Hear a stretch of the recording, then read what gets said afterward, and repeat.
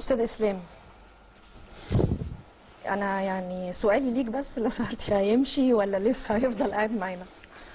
أنت عايزة إيه؟ لا أنا هتكلم وحضراتكم موجودين. اتفضل. طيب بص خليني أقول لك إن لاسارتي اعلن في المؤتمر الصحفي رفضه لتقديم استقالته وترك حرية الأمر لمجلس إدارة النادي وبالتالي في توقيت قليل جدا النادي الأهلي بي داخل على مباراة مهمة أو مباراة صعبة. هي مباراة بيراميدز في الدوري الممتاز. وبالتالي فكرة التغيير كان وفق الكلام مع بعض المسؤولين داخل النادي الأهلي أن هتكون صعبة في التوقيت الحالي لرغبة طبعا مجلس الإدارة في الحفاظ على ال- الاستقرار. بجانب أن النادي الأهلي كمان غير آه، في الموسم دوت كارتيرون المدير الفني الفرنسي برضو بعد آه، تذبذب ال- النتائج وبعدين تولى آه، لاسارتي المسؤولية. وبالتالي فكرة رحيل لاسارتي في التوقيت الحالي فكرة هتكون صعبة آه، ما بيبنيش قراراته الأهلي على نتائج كمان.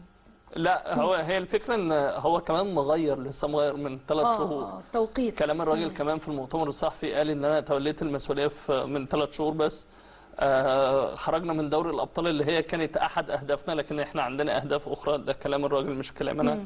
وبالتالي إحنا لسه آه آه قدامنا أهداف آه. تانية. النهارده جماهير النادي الأهلي طلبت اللعيبة أثناء اعتذارهم ليهم بعد توجههم ل آه للجماهير في أرض الملعب طلبوهم بالدوري.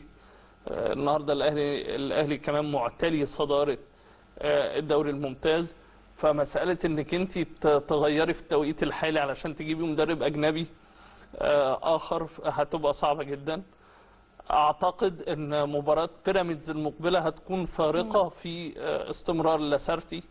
آه، بكرة في اجتماع ما بين المسؤولين في النادي الأهلي وسيد عبد الحفيظ مدير الكرة آه، علشان يحددوا بشكل يعني نهائي الفترة المقبلة هتكون موجودة آه، فيها إيه الفترة اللي جاية. بجانب إن مجلس الإدارة خد قرار بخصم 10% آه، من آه، عقود اللاعبين بعد الخروج من آه، بطولة آه، أبطال إفريقيا.